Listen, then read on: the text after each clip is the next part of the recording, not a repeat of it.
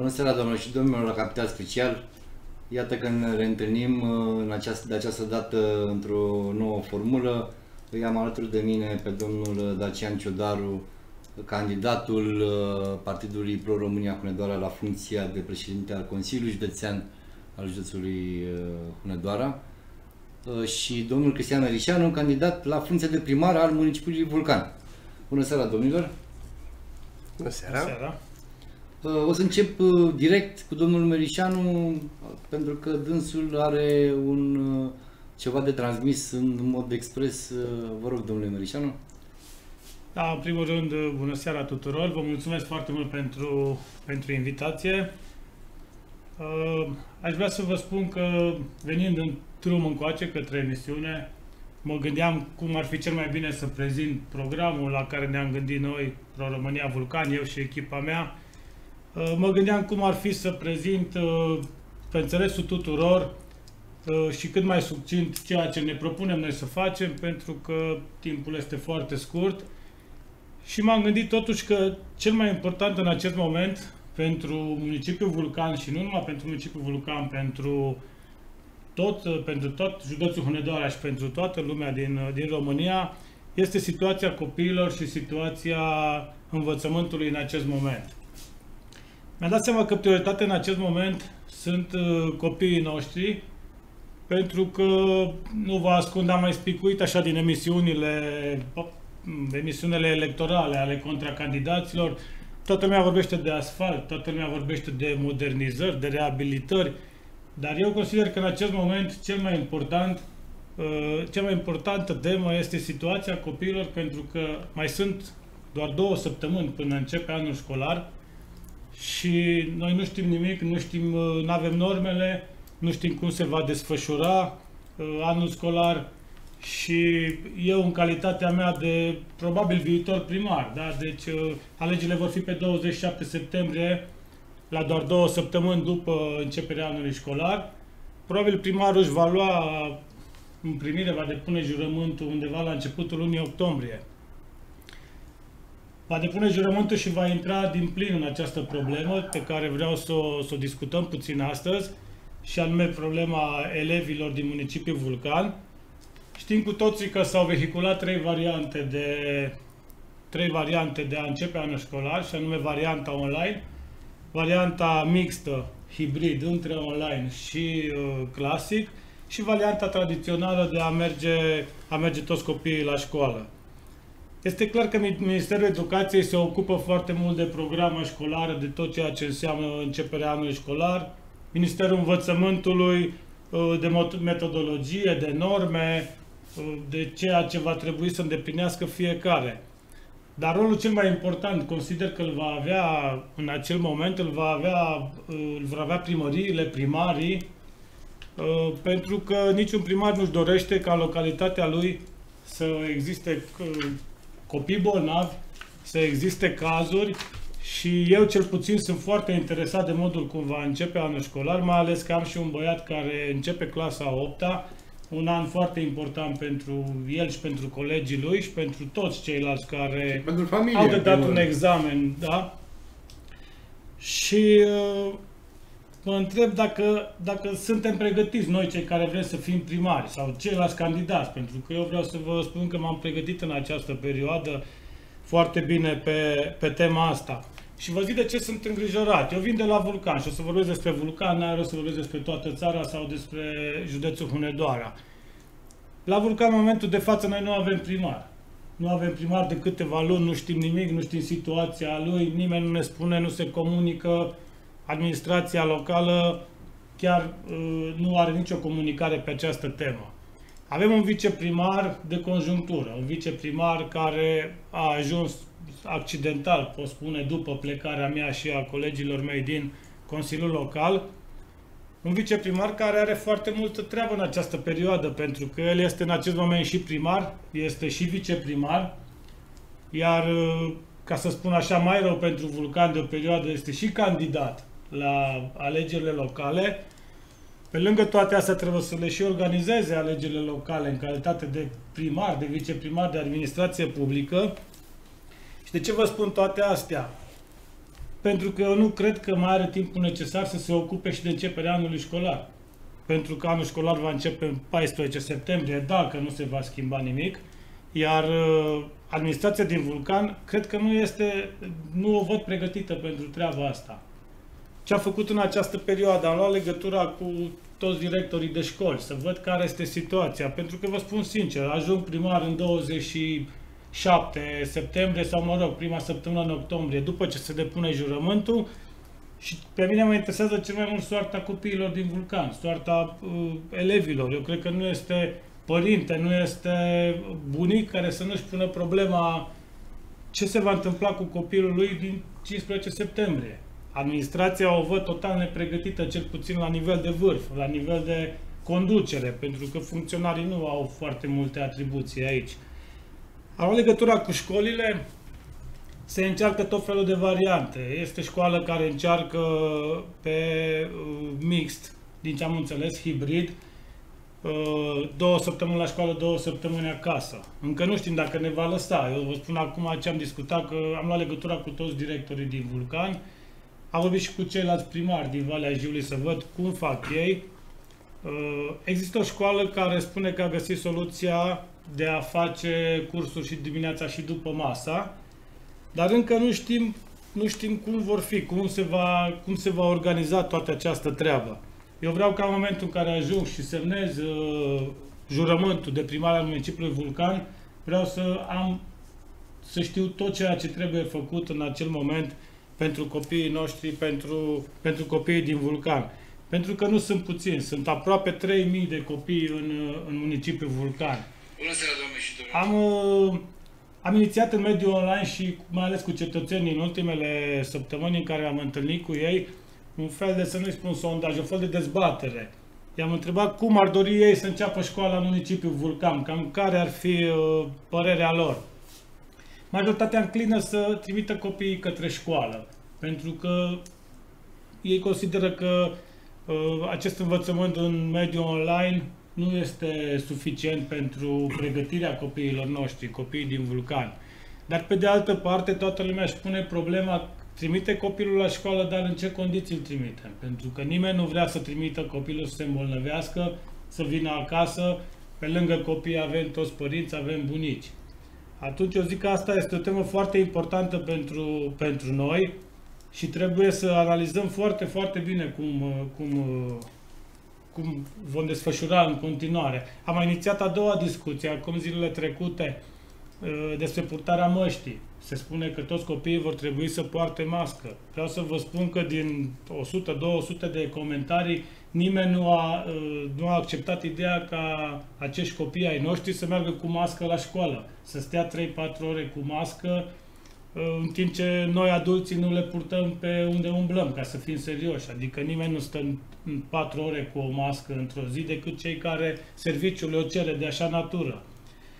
Eu zic că este o temă foarte importantă și ar trebui să ne punem toți la masă, cel puțin noi cei care considerăm că o să conducem uh, administrațiile locale, pentru că nu am niciun dubiu că o să fiu primarul municipiului Vulcan și mă voi confrunta cu această problemă. Uh, informațiile vin foarte, foarte puține. Uh, acum de vreo două zile am înțeles că s-a aprobat ceva ordonanță de guvern 144 din 24 august în care se spune că pot fi accesate fonduri pentru, pentru acest lucru. M-am interesat pe surse la Vulcan, nu știe nimeni despre treaba asta, deși sunt 100 de milioane de euro pentru tablete și tot ceea ce înseamnă aparatură, sunt 50 de milioane de euro pentru măști, și 25 de milioane de euro pentru uh, ceva containere sanitare care sunt uh, foarte uh, importante în unele locații. Dar pentru toate astea trebuie făcute niște demersuri, trebuie făcute niște proceduri, pentru că sunt convins că și acolo primul venit va fi primul servit. Iar uh, nu cred că o primărie ca municipiul Vulcan sau uh, școlile din municipiul Vulcan își permit. Îmi spunea astăzi un director care are nevoie de 2-3 mii de măști zilnic înmulțim cu 25 de zile, deci vă spun că am făcut un calcul, este peste un miliard, un miliard jumate vechi lunar, care trebuie plătite doar pentru măști. Dacă noi nu ne mișcăm să facem niște proiecte acum, să, uh, să inițiem cât de repede, am vorbit cu primar care a zis, Cristi, eu deja am uh, Deja lucrez la proiecte, să aproape gata, aștept numai să vină ghidurile și să pot să, să le adaptez ca să, să se încadreze în condițiile care sunt, sunt, cerute, sunt cerute acolo. Deci eu consider că pe lângă asfaltări, modernizări și tot ce am văzut că toată lumea identifică problemele care sunt în oraș și le scrie pe program și ei le fac în 4 ani acum. Tot ce n-au făcut alții în 20-30 de ani, ei o să rezolve într-un an.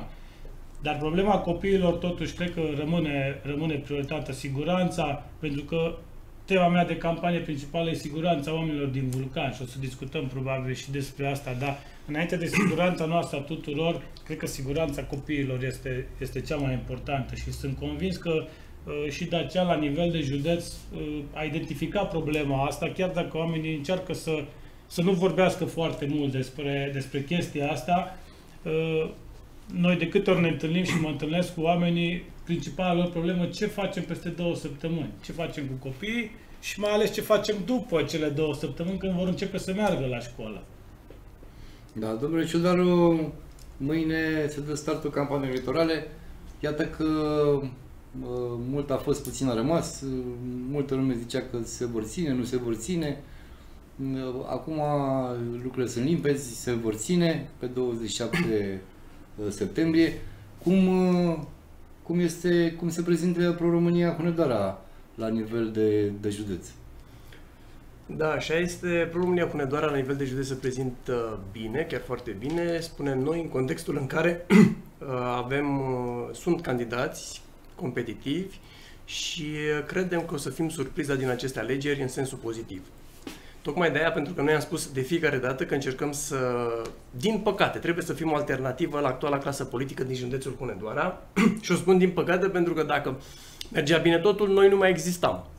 Și o spun așa pentru că eu sunt sigur că vă dați seama, uh, de 30 de ani, e foarte important lucrul ăsta, sunt aceleași partide și același rezultat. Rezultatul care este? Copiii au plecat. Și atunci trebuie găsit o soluție prin care, în prima fază, să facem toate demersurile necesare și să creăm mediul și condițiile cele mai bune, favorabile, ca să nu mai există acest exod de populare, iar apoi să găsim soluțiile la fel viabile, uh, da, să vină înapoi în județ. Este foarte important și pentru mine din acest punct de vedere, pentru că eu n-am mai avut ocazia până acum să pot candida la o, o funcție de asemenea importanță, președinte al Consiliului Județean și candidez pentru prima dată din acest punct de vedere și am avut o motivație foarte importantă.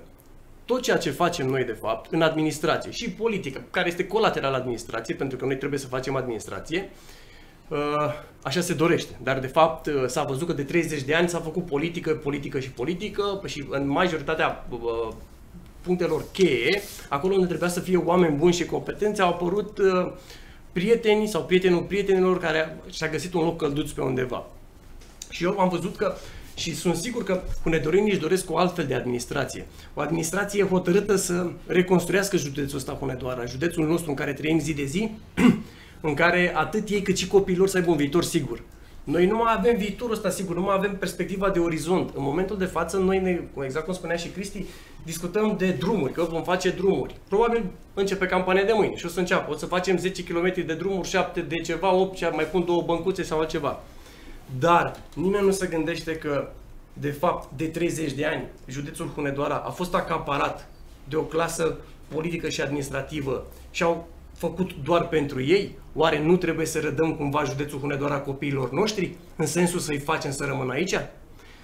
Am făcut această introducere în contextul în care tema noastră de campanie la nivel de județ este trebuie găsită soluția viabilă prin care să redăm uh, Hunedoara copiilor noștri. Este foarte important ca tot ceea ce facem să ne rămână. Eu, eu sunt părinte, am un copil de un an și jumătate de aproape îmi doresc ca, de fapt, copilul meu să rămână aici, să studieze aici sau dacă vrea să studieze în altă parte și consideră că e mai bine să meargă în altă parte, dar să reîntoarcă în județul Hunedoara, să pună în practică ideile pe care le-a preluat de acolo, de la profesori universitar și așa mai departe.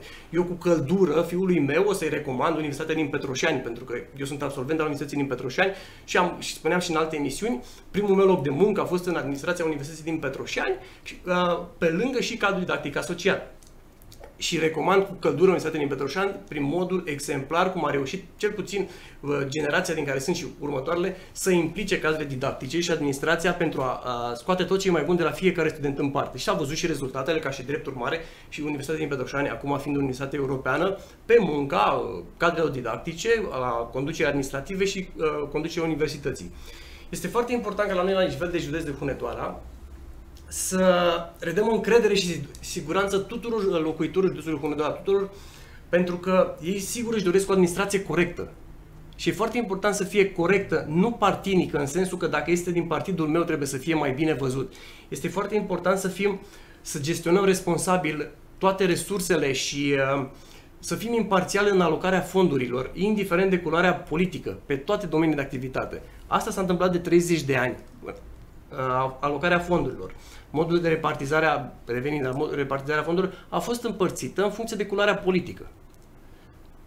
Cred că de anul 2020, cum spuneau unii clasici în viață, 2020, este anul în care uh, trebuie să se facă administrație, nu politică.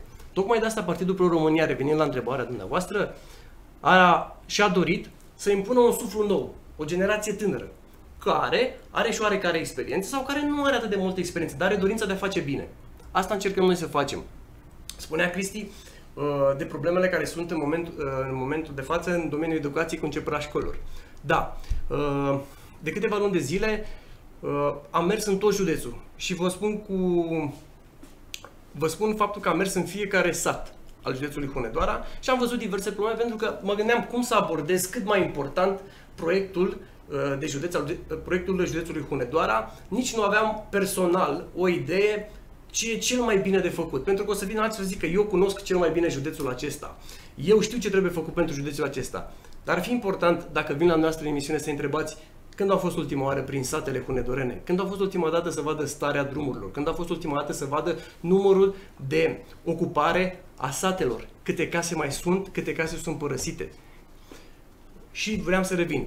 Discuția pe care am avut-o cu locuitorii de acolo și uh, discutând cea mai mare problemă a lor, cei care erau bunici, uh, își doreau să le vină nepoții acasă, care erau plecați în, datorită faptului că județul Hunedoara nu le-a oferit o, un mod de trai decent.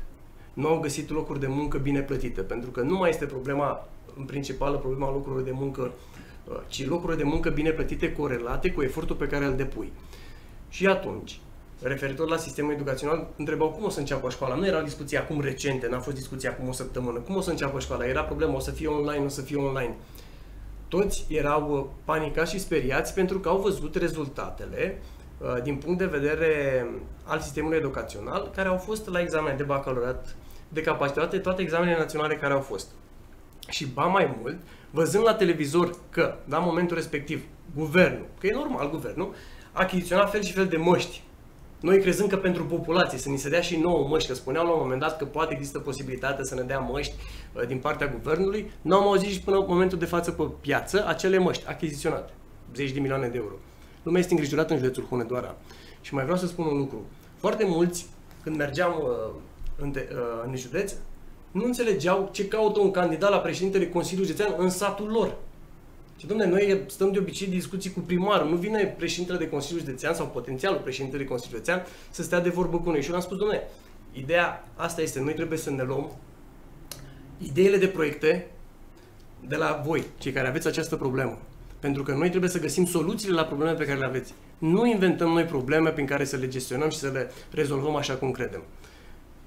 Este o problemă din acest punct de vedere și cred că peste două săptămâni când va începe școala, revenind la sistemul educațional, va fi un pic de gringoladă. Ce se va întâmpla cu părinții care au copii la școală și nu au posibilități financiare dacă nu aplică la proiecte? Unul la mână. Ce se întâmplă dacă nu începe școala până la urmă, pentru că sunt trei variante.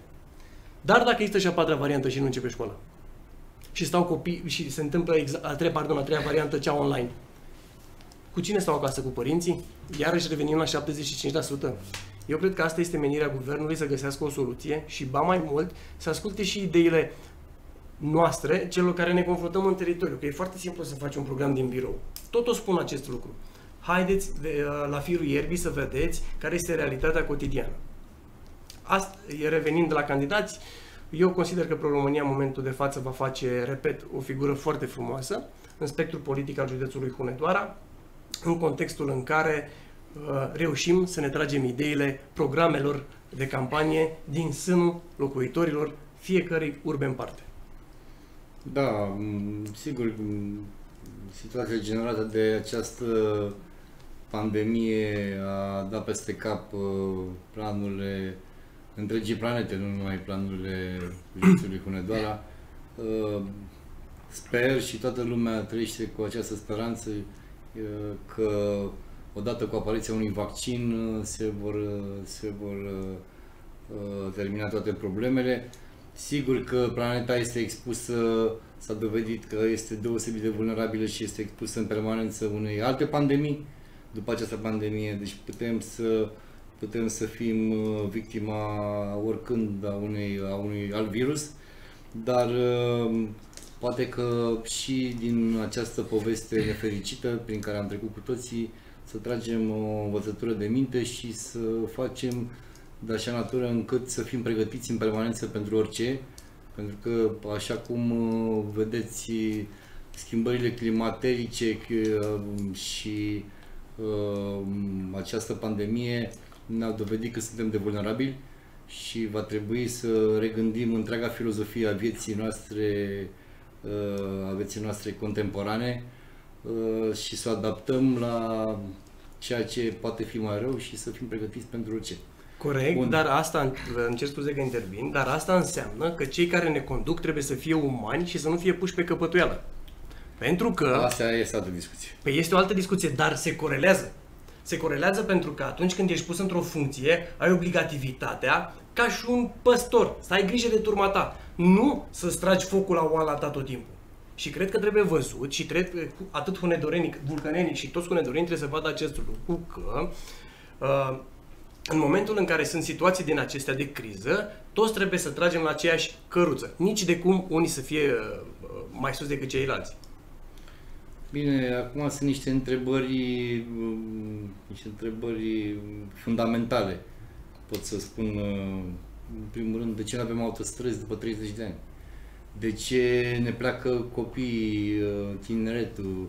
Uh, încă o dată, o, o să repet cu încăpățânare faptul că mă uit în jurul nostru, în jurul României, la celelalte țări foste comuniste, unde tineretul nu pleacă sau pleacă într-o proporție foarte, foarte redusă, cu toate că salariul de acolo nu este ca la nivelul Franței sau Germaniei sau Angliei sau da, și totuși tineretul nu le pleacă. De unde, de unde această, de unde această tragedie a poporului român? Uh, nu cred că este neapărat a poporului român, ci din punctul meu aș vrea să mă refer doar la județul Hunedoara. Nu știu dacă avem în momentul de față o strategie de uh, mobilitate pe care să o și adaptăm și să o urmăm. Eu cred că este nevoie de, acea, de o strategie de mobilitate a populației și trebuie găsite soluțiile acestea. Și tocmai de așa se întâmplă când se lucrează haotic și ne bazăm numai pe a investi într-un anumit domeniu în care nu stăm de vorbă cu cei care beneficiază de acea investiție, dacă este importantă sau nu pentru ei, ci nu doar pentru noi din birouri, așa se întâmplă. Pentru că uh, hunedorinii observă lucrul ăsta și au observat de fiecare dată că în campanii electorale, care încep de mâine, Uh, în campanie electorale se promită diverse lucruri. După ce s-a terminat campania electorală, fluturașul acela pe care îl dăm acum cu eu știu de toate, eu fac de toate, eu vreau să îmi dau a mie sau cuiva, se uită. Poate din anul 2020, hunedorenii își vor da seama că este nevoie de un suflu nou, de o nouă etapă în administrația hunedoreană și să meargă și să susțină o alternativă la actuala clasă politică. Domnule Merișanu, care este poziția dumneavoastră. Da, aș vrea să vă dau dreptate că după această pandemie sau, mă rog, în cadrul acestei pandemii am învățat foarte multe și ne-am schimbat cu toții, poate, comportamentul și viziunea de viață. Dar asta nu înseamnă că un guvern ca cel care este acum la conducere, guvernul PNL, că știm cu toții, uh, este atât de nepregătit, cel puțin pe tema pe care v-am, uh, v-am deschis-o uh, la început, pe tema începerii anului școlar, deci mai sunt câteva zile, iar ei uh, nu iau nicio măsură, vin acum cu o ordonanță cu două săptămâni înainte, se așteaptă data de 7 septembrie pentru a veni cu noi lămuriri directorii nu știu ce au de făcut, profesorii nu știu ce au de făcut, nu mai spun părinții și copiii uh, cu atât mai mult nu știu ce au de făcut. Uh, spunea și Dacian că sunt aceste partide care au condus tot timpul, PSD, PNL și care își dovedesc de multe ori limitele uh, pe care le au. Eu zic că vremea lor s-a cam dus și ar fi momentul ca aceste partide cum Pro-România să, să vină să ajute oamenii în aceste momente. Pentru că acel public s-au bazat foarte mulți ani ei pe acel public activ, PSD și PNL. Se știe că sunt localități în care dacă pui doar pătratul cu PSD, va avea un anumit procent. Și vorbesc aici de vulcan. Uh, sunt, uh, uh, există posibilitatea ca și dacă nu ar avea niciun candidat, la vulcan, de exemplu, PSD-ul să aibă un anumit procent ceea ce nu mi se pare corect și eu spun că în ultimul timp această problemă s-a mai, s-a mai diminuat. Nu mai există chiar, chiar așa de larg această problemă și este foarte bine că oamenii s-au dat seama, oamenii s-au deșteptat și sunt sigur că în 27 septembrie vor ieși și la vot și vor taxa toate aceste derapaje pe care de-a lungul timpului ne-au ne-au ținut captivi în ceea ce spuneați dumneavoastră, de la autostrăzi până la uh, faptul că începe anul școlar și nu știm ce trebuie să facem. Da, nu știu, am, am senzația că ce ni se întâmplă, ni se întâmplă numai nouă. Exact, Dacă sunt te... țări în care uh, s-au luat alte măsuri exact. mult mai bune, vedem cu toții, n-are rost să le spun eu acum, uh, că și în comentariile pe care le-am avut mi-au intervenit prieteni care sunt plecați în, în Suedia, în, în alte țări și spuneau, la ei în țară s-a făcut așa sau așa și lucrurile stau foarte bine. Copiii încep școala într-un anumit mod. Numai la noi în țară nu se poate niciodată. Parcă eu, suntem blestemați de ani de zile, noi nu să fiu, putem să fiu face un pic, nimic. Să fiu un pic uh, hazliu, uh, deși sunt un tip uh, vesel de, de felul meu, dar să, era, era, era pe vremea mea așa, când eram și eu acum uh, două ere în urmă, eram tânăr, uh, era un film cu Bud Spencer, zicea, se intitula Mi se întâmplă toate, mi se întâmplă numai mie. Exact. Și cred că chestia asta ne caracterizează poporul român, din păcate. Uite că ni se întâmplă niște lucruri care nu se întâmplă la, la nimeni, ni se întâmplă numai nouă. Pandemia asta a pus capac peste toată, toată mocirla politicii românești de până acum de 30 de ani a pus un capac uh, negru și din care nu știu cum o să ieșim. Pentru că, uite, că uh, infecțiile cu coronavirus se păstrează la un nivel foarte înalt uh, de 1500 de cazuri zilnic. Uh, secțiile de ATI sunt aproape de, de, de a fi depășite numeric. Uh, ce să mai zic?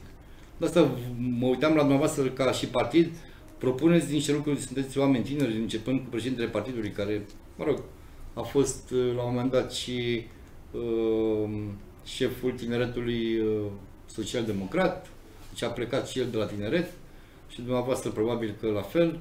Și mă uitam și sigur că speranța noastră a tuturor, a celor care au mai rămas în țărișoara asta uh, amărâtă, Uh, este către cei care vin din urmă, care vin, uh, cei care sunt tineri, care vin cu idei noi și sper ca ce vorbim astăzi se, se va aplica în condițiile în care veți câștiga, se va și, se va, vor și aplica aceste promisiuni da, ați deschis, ați deschis un subiect foarte bun și mă refer așa. Ați făcut afirmația pe bună dreptate și este adevărat că atât eu cât și uh, președintele Partidului Victor Ponta am fost uh, președinții la nivel de tineret și apoi Victor Ponta la nivel de PSD. Exact. Da. Uh, pentru că și în ultima perioadă lumea încearcă, uh, mai sunt câțiva, câteva stropitori de serviciu din acestea conturi fake pe Facebook, domnule, dar ești PSD-ist. Nu, domnule, sunt Hunedorean. Nu, o secundă, fac o mică paranteză. Uh, este o, este o mare, discutam și înainte de emisiune, E o mare problemă aici. Uh, apropo de, de campania care se face online și care se face la televizor. Deci, uh, stimați uh, telespectatori, tot ce se întâmplă în mediul, în mediul televiziunilor este monitorizat atent de către Consiliul Național al Audiovizualului. Deci, practic, fake news-urile este foarte puțin probabil sau chiar imposibil să se petreacă la televiziuni fake news-urile se petrec în mediul online, pe Facebook, pe mă rog, pe canale diferite online. Deci, practic, uh, aveți încredere în televiziunile uh, gestionate de Consiliul Național al Audiovizualului. Vă rog să continuați. Corect. Și tot uh, se merge pe această idee, domnule, înt- într-un comentariu pe Facebook, repet, de la un cont fake, cum e la modă, și eu cum le spun așa din popor, stropitorile de serviciu care n-au curajul să se asume, spuneau că atât eu cât și Cristi suntem pesediști. Și încercam să le explic, domnule, suntem, în primul rând, suntem hunedoureni, vulcăneni, dar, dar, ne-am asumat... Social-democrat nu înseamnă să fii pesimist, nu? Păi nu, că aici se încearcă ideea să zică, domnule, cum vine Ciudaru de la Pro-România sau Merișanu care e la Pro-România când e de fapt pesedist? Nu. Și vreau să le spun așa, atunci când am considerat că vrem să facem cu totul altceva în politică și în principal în administrație și am văzut o nouă uh, viziune asupra administrației și politicii, am plecat din PSD. Repet, eu, din funcția de, uh, de consilier județean, remunerată, nu știu câți pleacă de, când, de la o, într-o funcție remunerată, și ba mai mult, Cristi Merișanu din funcția de viceprimar remunerat, adică omul n-a stat să facă blatul să zică te ajut uh, Pro-România de a rămâne la PSD. Asta ar trebui spus, pentru că datorită faptului că sunt unii oameni cu caracter, cum este și Cristi, care a avut curajul să se asume pe față, pe cum foarte mulți politicieni, și uitați-vă în politica de 30 de ani, merg cu șopulica pe lângă mese. Eu sunt și cu tine, ai că te ajungi pe tine? Nu, noi am avut curaj să spunem, domne, suntem tineri, vrei să avem continuitate în, polit- în administrație și în politică, ne asumăm de la început. Și asta am făcut. Și veți vedea pe parcursul îndelugat, spun eu, al vieții noastre administrative și politice, că ceea ce spunem acum, la dumneavoastră în emisiune, se va regăsi și peste ani, dar îmbunătățit, raportat la cum va fi modul de viață la momentul respectiv. Aici vreau să-l completez pu- puțin pe Dacian, pentru că foarte mulți folosesc cuvântul traseiști politici. Traseist politic este acel om, din punctul meu de vedere, care uh, pleacă de la un partid la altul pentru anumite favoruri.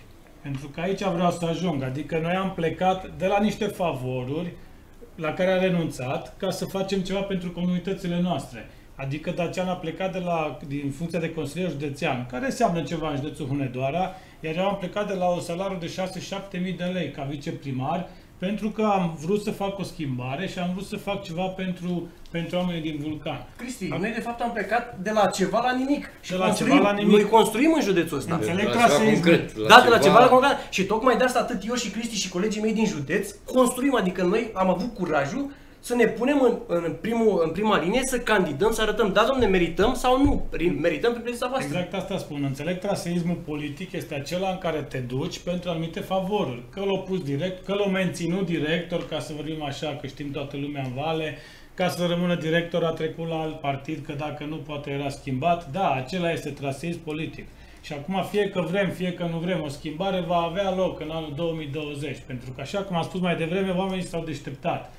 Atât la nivel de județ, o să vedeți, Dacian o să facă o mare surpriză cu procentul pe care îl va avea Pro-România, iar la nivel de vulcan, acum, fie că vrem, fie că nu vrem, ca să vorbesc un pic despre vulcan, la vulcan schimbarea va avea loc. Asta în primul rând, pentru că domnul primar Gheorghele nu mai candidează. Știe toată lumea. Acum ne vom face o schimbare la vulcan, dar haideți să nu o facem doar de dragul de a face schimbare. Pentru că uh, schimbăm un rău cu alt rău. Trebuie să ne gândim foarte bine ce punem în loc. Pentru că sunt foarte mulți candidați la vulcan, sunt top candidați pentru funcția de primar. Sunt uh, uh, Cred că e să se recordul, băi, Julie. nu știu dacă este recordul, cred că la Petroșan sunt 9, nu știu sigur, poate greșesc. Dar uh, sunt oameni care n-au stat o zi în administrație, n-au intrat, n-au, stat, uh, n-au lucrat o lună în primărie și vin acum și ne dau nouă lecții. Eu după 12 ani de administrație, 4 ani ca și consilier local și 8 ani ca viceprimar, cunosc toate problemele care sunt în oraș. Poate am făcut unele lucruri, poate unele nu le-am putut face în perioada asta, dar vulcanul s-a dezvoltat într-un fel în care s-a dezvoltat. Acum a fost primarul Gheorghe Ile, știe toată lumea că primarul este ordonator de credite, primarul uh, e cel care semnează. Degeaba aveam noi niște La, la, umbra lui, divergențe. la umbra lui Gheorghe Ile nici alba nu, nu creștea. Peste tot este așa, nu numai la vulcan. Primar, în general, ei au ultimul cuvânt, ei pun semnătura. Dar nu poți nici să vii acum în vulcan, tu poate nici n-ai stat în vulcan ani de zile și vii acum să spui că tu știi toate problemele vulcanenilor. Te duci pe stradă, vezi pe unde nu e asfalt, vezi ce blocuri sunt și zici asta le fac eu în patru ani. Te credeți că omul ăla nu le făcea dacă putea și ca să mai câștige încă un mandat? sau Probabil că Adică probabil, sigur în ultimul mandat primarul nostru a lăsat-o mai moale și nici nu a lăsat pe alții să facă. Aici a fost greșeala dumnealui. Dar vreau să vă spun că eu știu ceea ce trebuie făcut. Eu nu uh, aștept să ajung la primărie ca atunci să mă gândesc oare cum o să fac. Știu exact ceea ce trebuie făcut pentru vulcan, știu exact cum trebuie să facem și mai important și mai important, am și echipă cu care să fac treaba asta. Și rog pe toți vulcanenii să se uite la toți candidații de primar ce echipe au în jurul lor, pentru că e foarte important cu cine te însoțești în viață, în viață în general, cu atât mai mult că vrei să conduci o administrație, când tu n-ai, uh, n-ai trecut două zile prin primăria aia și vii acum cu doi, trei oameni, mă rog, fiecare cu pregătirea lui, dar pregătirea pe care noi o avem la Vulcan, la, la Partidul la Pro-România, eu zic că suntem pregătiți pe toate domeniile și noi, începând de a doua zi de când intrăm în primărie, vom, vom pune în aplicare deja ceea ce știm că trebuie făcut. Da, extrapolăm puțin discuția de la Municipul Vulcan la județul Hunedoara la, la Consiliul Județean. Ce ne puteți spune, domnule Ciodaru, vis-a-vis de activitatea actualului uh, Consiliu și ce ar trebui făcut în continuare ca să ieșim din situația în care ne aflăm? Ce ar trebui făcut cu permisiunea noastră o să spunem de mâine de când începe campania În regulă. electorală. În regulă. Ce cu, ne siguranță, puteți spune cu, astăzi? siguranță, cu siguranță dacă eram mulțumiți nu mai candidam. Era logic. Continuam pentru că veți vedea acest lucru și o spun cu responsabilitate. Pro-România nu a pus candidați de dragul de a-i pune să zică ok, primarul ăla e bun. Nu, noi am, găs- am găsit de cuvință că dacă un primar este bun și este pe drumul cel bun, nu are rost să te apuci să strici ceva. Da, la nivel de județ, din acest punct de vedere, sunt multe lucruri de îndreptat și multe lucruri de făcut. Dar cel mai important este să redăm încredere hunedorenilor în Hunedoara și în administrația din Hunedoara. Aș vrea un pic să completez ceva la Cristi și revin cu răspunsul la dumneavoastră. Eu mi-aduc aminte, eu când mergeam la Cristi și era viceprimar și veneau oameni, nu în programul de audiență, să mă corectez dacă greșesc, și eram în birou, biroul tău albastru. Zilnic de Și veneau și eu eram la discuții și veneau acolo, în- cum intrai pe ușa din față, mai era ușa ta, de drept în față, că era secretara chiar acolo. Și uh, avea o problemă. Trebuia să stea pe acolo, pe la ușă, și îi lua. Și noi eram în timpul discuției, în dialog. Venea omul, povestea cu el și zicea, bă, Daci, are o problemă, trebuie să discutăm. La început nu înțelegeam, zic, neștiind eu atât de bine, pentru că la momentul respectiv administrația locală, Cristi, este doxă din punctul ăsta de vedere. Și am văzut cum se comporta cu oamenii. Și mi-am dat seama că, de fapt, el spunea acum că, de fapt, știe el ceea ce își doresc vulcănenii. Eu pot să atest lucrul ăsta pentru că eram acolo, repet, prieten, coleg și tot timpul eram pe locul 2 pentru că era mai important vulcănenii. La început nu înțelegeam de ce zic, bă, Cristi, dar totuși zice, bă, sunt oameni care ne-au votat și care au niște așteptări de la noi. Prima oară e locul de muncă și după aia discutăm. Și să vă spun, asta are nevoie vulcanul, asta are nevoie județul Hunedoara. Am făcut această afirmație și în alte emisiuni. Eu m-am săturat de primari, președinți de Consiliul Județean, vicepreședinți care așteaptă un singur lucru. Dimineața să vină secretară cu cafeluța. Ce e ce mai frumos să fii la birou, să vină, mi-a și mie o cafea, te rog frumos, cu zahăr, brun. Nu! Și oamenii sunt ținuți în așteptare, că asta e problema. Asta e ideea. Și oamenii sunt Până la astea. urmă- Nu, domne. Dacă ești primar, dacă ești președintele Consiliului Județean, primul lucru trebuie să te axezi pe prioritatea ta să fie oamenii și nevoile lor reale. Repet, reale. Și eu cred că asta trebuie făcut la nivel de județul Hunedoara, o deschidere totală către, uh, către locuitorii județului Hunedoara. Modalitatea de deschidere, de mâine le vom povesti din acest punct de vedere. Sigur că, sigur că sunt multe lucruri de făcut și la nivel de orașe, municipii, dar în principal sunt multe lucruri de făcut la nivelul Consiliului Județean pentru că de aici pleacă banii, de aici pleacă multe lucruri care pot influența bunul mers al orașelor și sigur că și proverbiul românesc că peștele are, are un cap care, nu? Da. Uh, care miroase mai urât. Da. Eu pot să garantez din acest punct de vedere, veți vedea că voi fi foarte rezervat în a face promisiuni pentru că nu stă în caracter să promit ceva și uh, îmi place mai mult să spun am făcut asta sau am avut în vedere și am realizat, nu mai trebuie să o promit pentru că s-a început deja. Uh, Pot să spun că voi garanta o gestionare responsabilă a tuturor resurselor și o imparțialitate din punct de vedere al alocării fondurilor, indiferent de culoare politică a partidelor și a primarilor care vor fi la momentul respectiv. Asta pot eu să garantez. Și de ce spun asta? Pentru că la Consiliul Județean, Pro-România are o listă completă de 40 și aici e o adevărată poveste prin care celelalte, alte partide, nu celelalte, alte partide spuneau Pro-România, nu sunt nici 5 oameni. Domnule Balint, noi avem o medie de vârstă de 42 de ani pe lista de Consiliu Județean. Oameni cu experiență, oameni tineri, oameni care au făcut ceva în viața lor și au demonstrat că acolo unde se duc rămâne ceva în urma lor. Și avem și o garnitură de tineri care, aici este foarte important cum, o gând, cum gândim noi pro-România. O garnitură de tineri pe care îi pregătim pentru 2024, în prima fază să învețe ce înseamnă și în 2024 să fie în continuare alături de noi. Pentru că, pare ciudat, Ciudaru are 38 de ani, repet, a, candidează acum pentru prima dată. Dar un mandat, două, trei se erodează. Nu o să mă vedeți la, nu știu, ce vârstă, 65-70 de ani să rămân în funcție. Vă o să-mi doresc să-mi cresc nepoții, recunosc. Și nu o să mă vedeți că dacă... Dar să înceapă campania electorală. Vreau să adaug aici la ce spune Dacian și vreau să vă spun un, un mic secret așa pe care l-am l-am aflat stând cu toți oamenii în tot acest timp. Să știți că oamenii nu au așteptări foarte, foarte mari de la primărie.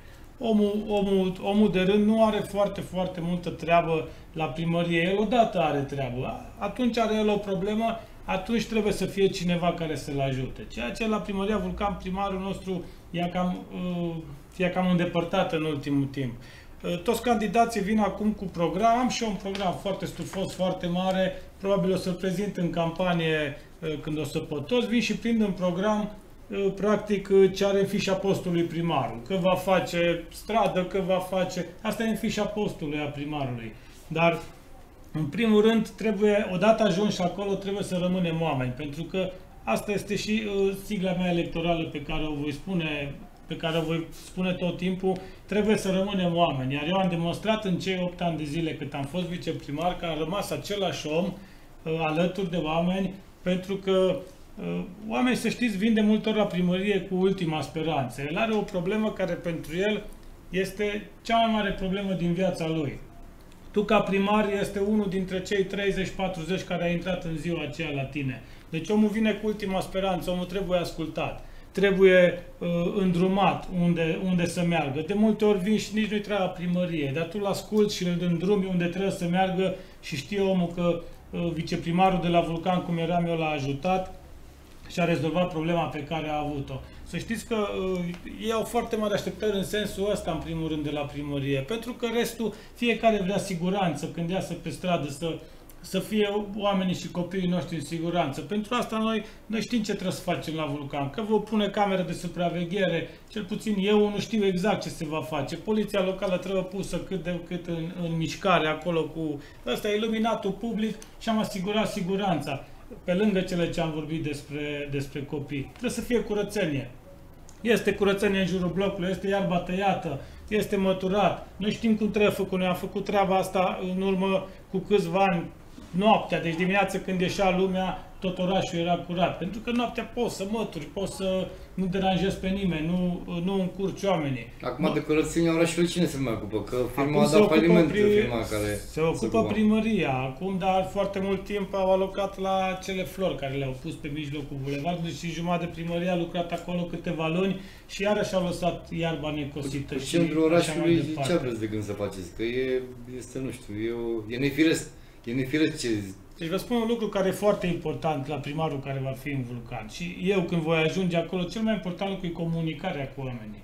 Noi vo, eu voi încerca să comunic permanent cu oamenii pentru a vedea ceea ce își doresc ei până la urmă. Eu pot să vin acum să spun că o să dărâm fântânile din vulcan și poate alții spun lasă că uite de când îți cu flori, arată cât de cât, nu mai sunt așa urâte cum erau înainte. De asta trebuie să discutăm tot timpul cu oamenii. La vulcan comunicarea asta a încetat de o perioadă, cel puțin de când am plecat eu din primărie, că îmi spuneau mulți că mai stau pe Facebook, dar eu practic comunicam cu oamenii pe liniile care le aveam eu, că la televizor mergea primarul, consiliera de imagine care făcea articolele, făcea despre primar și atunci mi-a rămânea să comunic cu oamenii direct, uh, întâlnindu-mă cu ei, sau mediul online.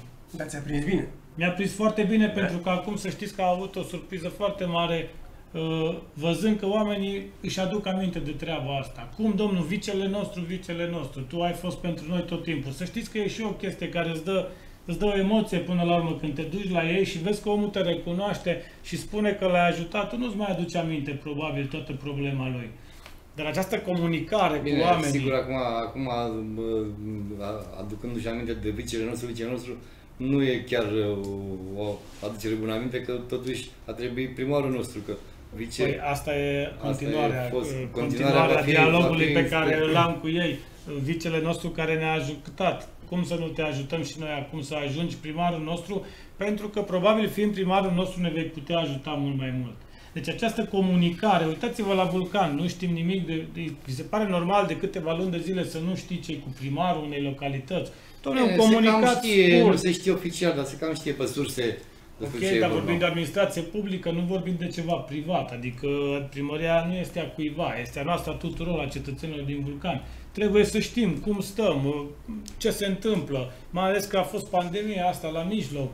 Cine, cui ne adresăm dacă avem o problemă? Cui, unde mergem? Că la Vulcan primarul a avut întotdeauna un rol foarte important. Plecând primarul, să știți că foarte lumea, multă lume a rămas uh, dezorientată. Am plecat și eu înainte de asta, acum ne mai fiind primarul, uh, este acest viceprimar care, ca orice om, are limitele lui. Iar acum, fiind implicat în toate aceste chestiuni, l-au mai pus și candidat la PSD pentru că n-au reușit să găsească alt candidat din uh, ce era acolo, s-au certat între ei și asta a fost singura soluție. Nu vreau să o comentez, că nu vreau să vorbesc despre alții. Probabil dar că, o să- le, că acum le pare Da. rău că ați trecut la Pro-România, că uitați relațiul... Nu știu, asta Aveți o o să șansă. vedem după ce o să Plus. câștig primăria, dacă le pare rău sau nu. Dar uh, eu sper că toți cei care au votat PSD-ul și care au fost alături de mine înainte, sper să vină și acum alături de mine, pentru că eu am rămas același om și pentru ei și pentru celălalt electorat și uh, le promit că nu mă voi schimba în cei patru ani când voi fi primar. Pentru că mai e o problemă aici. Haideți să-i dăm putere acum la unul din tinerii ăștia care au venit, că și tinerețea e bună, dar nu e întotdeauna o calitate. Îi dăm putere și nu știm cum se transformă după patru ani. Că după eu, la mine lucrurile sunt clare, am fost 8 ani acolo, m-am schimbat atât cât m-am schimbat, lumea mă cunoaște. Ne dăm putere la unul uh, care acum a, a venit în vulcan sau care a intrat și el în primărie de trei ori, îi dăm o putere și nu știm după aia dacă mai reușim să intrăm în primărie. Și așa e închisă de când cu pandemia, de intră numai, se intră numai uh, foarte greu și foarte, cu foarte multe restricții. Deci trebuie foarte bine să ne gândim, schimbăm, schimbăm, că o să fie schimbări la nivel de județ, poate să mai fie și în Valea Jiului. Ok, sunt primari care au făcut, nu avem ce să le reproșăm, indiferent de la ce partide sunt. Dar aici va fi o schimbare și, uh, dragii mei, că le spun cetățenilor din Vulcan, trebuie să avem foarte, foarte mic- mare grijă cu ce schimbăm în municipiul Vulcan, pe cine punem în loc. Și vă rog doar să luați toți candidații care sunt în Vulcan cu echipele lor și faceți o balanță între mine, care am făcut, n-am făcut, am făcut ce am putut. Încă o dată, am făcut atribuțiile care le-am avut ca viceprimar. Deci mie nu poate să reproșeze nimeni nimic. Toate atribuțiile care le-am avut ca viceprimar, eu mi le-am dus la îndeplinire. Că pe lângă astea am încercat foarte mult să, să substitui pe primarul municipiului Vulcan, să încerc să, să trec de barierele astea. Uneori am reușit, alteori poate n-am reușit. Dar important este ce facem de acum încolo. Schimbăm, schimbăm această uh, placă cu PSD-ul la Vulcan cu cineva care știe ce are de făcut și va face din secunda 2 când va ajunge la primărie. Bun, pentru că am început cu dumneavoastră, domnul Ișarnu, hai să încheiem cu domnul uh, Ciodaru, să dăm un ultim cuvânt de un minut, domnului Ciodaru, vă rog. În primul rând, mi-ați spus întrebarea ce aș face. În pri- Vreau să vă spun așa. Uh, Vă garantez că în momentul de față, Pro-România are șansa ei și prin prismă de candidat al președintele Consiliului Județean, dar vă garantez că în cazul în care nu ajung președintele Consiliului Județean, la 38 de ani ai mei pe care i-am, nu voi da demisia din, consi- din consilier județean, ci voi rămâne în Consiliul Județean să mă bat cu, uh, pentru uh, problemele pe care le au hunedorenii. Asta vă garantez. Uh, un alt lucru pe care vreau să spun în încheiere. Trebuie ținut cont că dacă de 30 de ani aceleași partide și aceleași rezultate și copii au plecat, s-a cerut o alternativă la actuala clasă politică.